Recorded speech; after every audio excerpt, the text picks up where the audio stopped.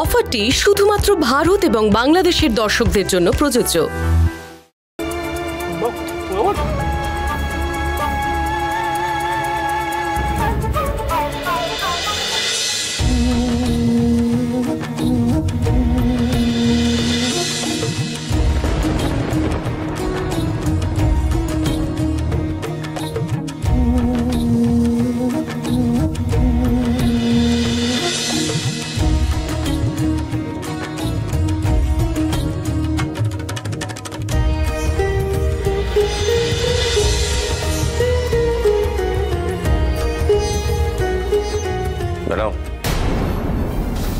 Inspector আমি জানতে চাই আপনি রণদেব বাবুকে কেন অ্যারেস্ট করেছেন?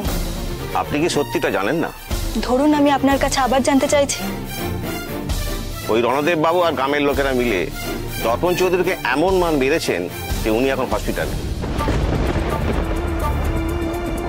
ওনার একজন অফিসের স্টাফ কমপ্লেন জানিয়েছেন। এছাড়া ওনার বাড়ির লোকের কাছ থেকেও কমপ্লেন এসছে। ওনারা এও জানিয়েছেন যে দর্পণ বাবুর সাথে রণদেব বাবুর আগে থেকে নাকি শত্রুতা ছিল।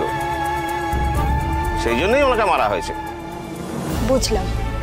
কিন্তু কিন্তু গ্রামের লোকেরা বলছে রণদেব বাবু সম্ভবত ওনাকে মারেননি। ওনারা মেরেছেন।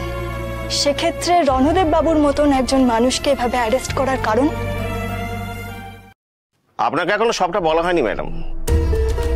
ম্যাডাম এই ব্যাপারটা কিন্তু এখন অ্যাসিস্ট্যান্ট কমিশনার পর্যন্ত পৌঁছে গেছে।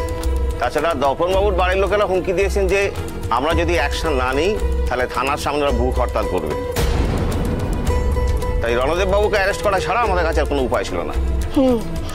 আচ্ছা আপনি কি এফআইআর করে দিয়েছেন? না ম্যাডাম দপনবাবুর স্টেটমেন্টের জন্য অপেক্ষা করছি। ওনার সেন্স ফিরলে ওনার থেকে স্টেটমেন্ট নেবার পর আমি এফআইআর দায়ের করব।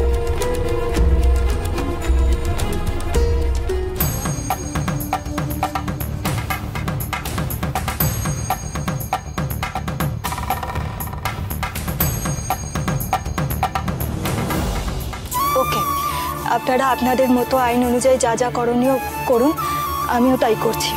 দেখছি জামিনের জন্য কি কি ব্যবস্থা করতে পারি। সেটাই বেটার ম্যাডাম